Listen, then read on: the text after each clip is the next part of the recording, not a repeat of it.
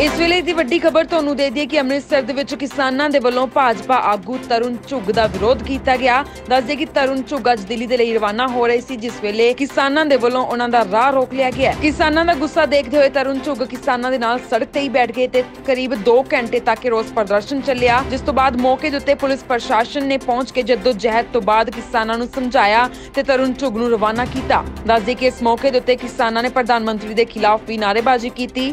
ਦੱਸਦੇ ਕਿ ਤਰੁਣ ਝੁੱਗ ਦਿੱਲੀ ਦੇ ਲਈ ਰਵਾਨਾ ਹੋ ਰਹੀ ਸੀ, ਜਿਸ ਵੇਲੇ ਕਿਸਾਨਾਂ ਦੇ ਵੱਲੋਂ ਉਹਨਾਂ ਦਾ ਰਾਹ ਰੋਕ ਲਿਆ ਗਿਆ ਤੇ ਉਹਨਾਂ ਦਾ ਵਿਰੋਧ ਵੀ ਕੀਤਾ ਗਿਆ, ਜਿਸ ਤੋਂ ਬਾਅਦ ਤਰੁਣ ਝੁੱਗ ਕਿਸਾਨਾਂ ਦੇ ਨਾਲ ਸੜਕ ਦੇ ਉੱਤੇ ਹੀ ਬੈਠ ਗਏ ਤੇ ਕਾਫੀ ਜਹਿਦ ਤੋਂ ਬਾਅਦ ਕਿਸਾਨਾਂ ਨੂੰ ਸਮਝਾ ਕੇ ਤਰੁਣ ਝੁੱਗ ਨੂੰ ਰਵਾਨਾ ਕੀਤਾ ਗਿਆ।